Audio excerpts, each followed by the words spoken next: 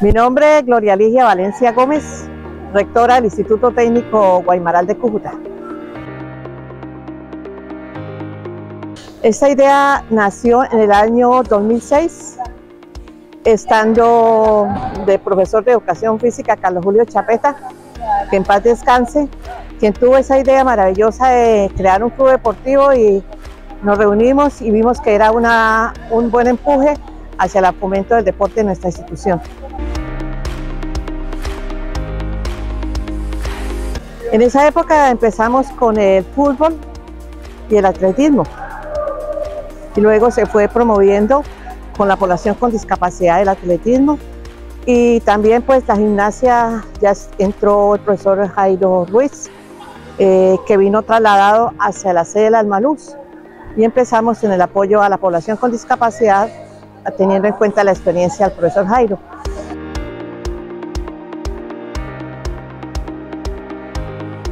Es lo mejor que puede pasar en un momento en el que estamos prácticamente reviviendo la actividad deportiva como una buena estrategia para mejorar el nivel de vida de nuestros estudiantes, buscando la convivencia escolar, mejorando estos aspectos.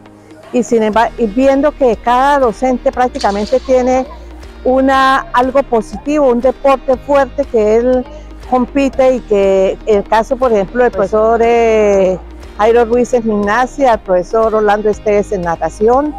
Eh, los profesores, cada uno tiene, la profesora Zaida Villamizar en su atletismo, en su baloncesto, todos tienen un deporte especial. El profesor eh, Carreño, Armando Carreño, también con su porrismo, cada uno va fomentando y van compitiendo, el profesor Luis Pedrosa con su ajedrez.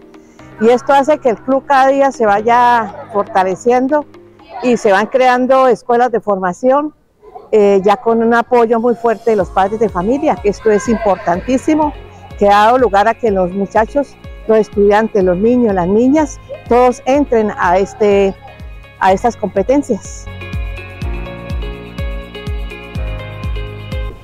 Por la organización. Sí, importante, por ejemplo, el Club Deportivo Técnico Guaymaral porque creo que es el que tiene la mejor experiencia en este tipo de, organización deportiva, porque da lugar a que toda organización con normas, con reglas, con las conductas, con reconocimientos, hace las cosas como deben ser y las personas que actúan dentro de ella pues lo buscan pues también resultados positivos y eso es lo que cada día se ha visto que se ha, que ha venido progresando dentro del club.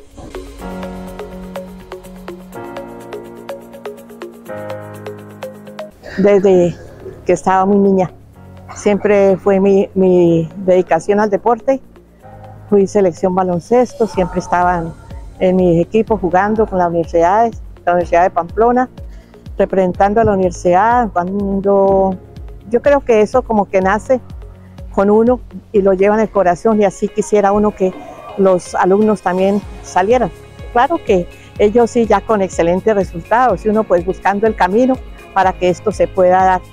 Eso pues eh, dice que, que, cada día uno busca de que las personas que, que, que uno tiene, por las cuales trabaja y lucha, cada día quiere que sean lo mejor, de lo mejor.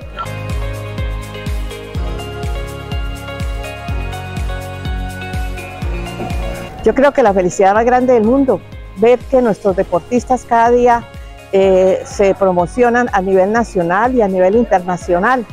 Vemos nuestros niños de la primaria con la gimnasia, campeones ya suramericanos, eh, integrantes del club, porque uno todo el tiempo estuvo con estilo un Yosimar Calvo, un Ángel Parajas del Club Deportivo Técnico Guaymaral y ellos campeones mundiales también. Esto significa que no solamente la gimnasia, sino los otros deportes ellos van mostrando resultados. Vemos ajedrez, ya campeones nacionales. Vemos también por ritmo campeones nacionales. Vemos el voleibol ahorita muy fuerte. Se está disparando el voleibol en el colegio, lo mismo que el baloncesto. El fútbol, espectacular. Muchos niños eh, antes buscan los espacios para poder competir.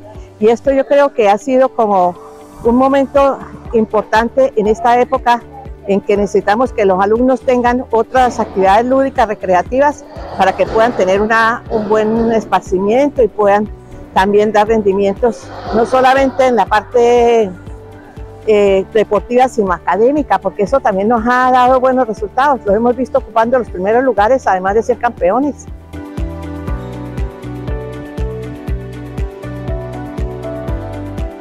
Desde todo el grupo estuvimos todos unidos, los del técnico Guaymaral, haciendo fuerza en cada uno de los eventos que ellos participaban y la emoción muy grande fue al finalizar el evento con ese balance tan excelente. Cuando el profesor Jairo Ruiz nos dio el informe de las 55 medallas, nosotros queríamos que todo el mundo supiera que eran de, la mayoría eran del Club Técnico Guaymaral.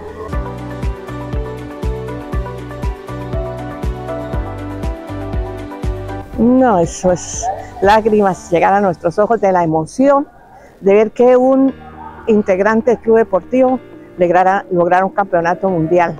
Y de verdad que yo creo que fui de las primeras que tuve los resultados porque el profesor Jairo inmediatamente me iba enviando y yo lo iba compartiendo con el club.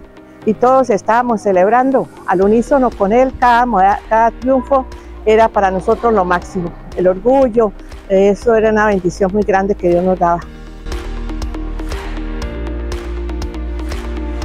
Bueno, las alianzas, primero que todo, pues el fuerte de nosotros tiene que ser la alcaldía, el Ministerio de Educación, apoyando a nuestros deportistas y las alianzas con las universidades, sí, del sector, especialmente la Universidad de Pamplona, que ha venido trabajando con nosotros, con sus practicantes, eh, nos ha ayudado también en los equipos, en los entrenadores, y esto ha favorecido que los muchachos también se den se, den, eh, se entreguen su, su trabajo.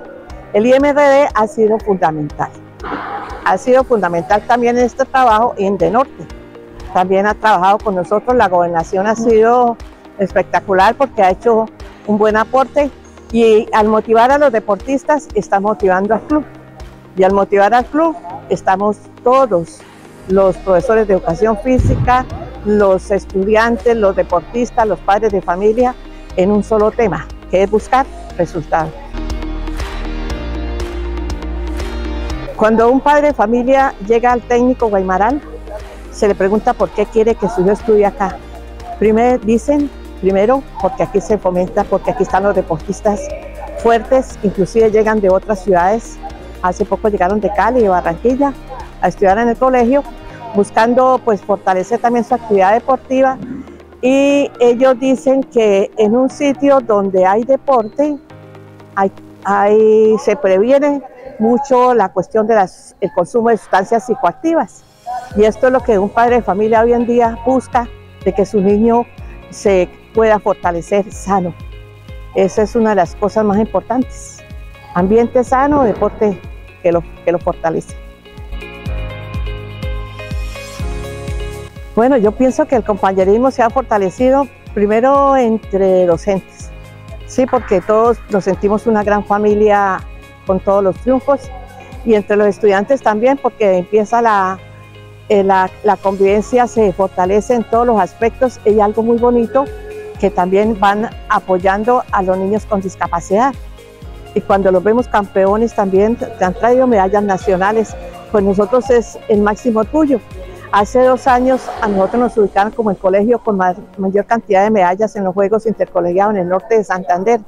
Y llegamos y la sorpresa que la mayoría de las medallas eran de niños con discapacidad. Esto para nosotros fue un factor muy importante porque nos dio mucho puntaje. Y también teníamos al lado los grandes gimnastas y teníamos al lado los grandes porristas y los grandes ajedrecistas, lo mejor de Colombia. Y esto, gracias a qué? A un trabajo de equipo muy fuerte, muy fuerte. Y de verdad que yo digo que esa entrega, esa dedicación, ese esfuerzo, ese ánimo que hay en cada uno de los integrantes del club, todos los docentes, con sus equipos, con sus trabajos, eso ha hecho dar un algo que yo pienso que es de las cosas bonitas que Dios nos ha puesto en el camino. Esa pregunta se la hice también a los, a los gimnastas cuando llegaron de competencias internacionales. Algunos de ellos me decían ser eh, olímpicos 2024, olímpicos 2026, eh, buscando que cada día ellos vayan eh, progresando y teniendo pues mejores resultados, ¿no? Es sueño tener por lo menos otro deporte también que pueda ir a los Olímpicos. Esa tarea la han hecho muchos docentes de la institución, ¿sí? Mostrando lo que cada uno hace y aquí hay que resaltar a Eduardo Esteban Pérez, porque muchas veces yo ayer hablaba con mis, un grupo de trabajo y le decía, antes se hacían muchas cosas en el técnico, desde hace 20 años cuando empezamos con la discapacidad, pero nunca solamente era para nosotros y para nosotros pensamos que era como algo que todo el mundo lo hacía. Cuando ya llega el profesor Eduardo Esteban y empieza a montar todas las estrategias de mostrar proyectos, de entregarlos a los medios de comunicación, esto se fue conociendo en Cúcuta, se fue conociendo a nivel nacional. De verdad que ahorita, hoy que un programa de gobierno está en que hay que fortalecer la actividad deportiva, como se hace en el técnico Guaymarán, con excelentes resultados. Eso debe hacerse en todos los colegios de Colombia. ¿Para qué? Para que nuestros niños busquen realmente el camino que a ellos les, les sirve, combinando el deporte con el rendimiento académico. Y vuelvo y digo, los deportistas son los mejores alumnos también, porque ellos aprenden a ser organizados, tienen todas sus metas bien definidas y esto también ayuda con la disciplina y la organización.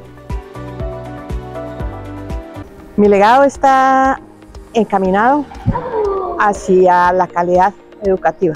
Esto significa que es un compromiso muy grande que hay que mantener, que hay que seguir fortaleciendo.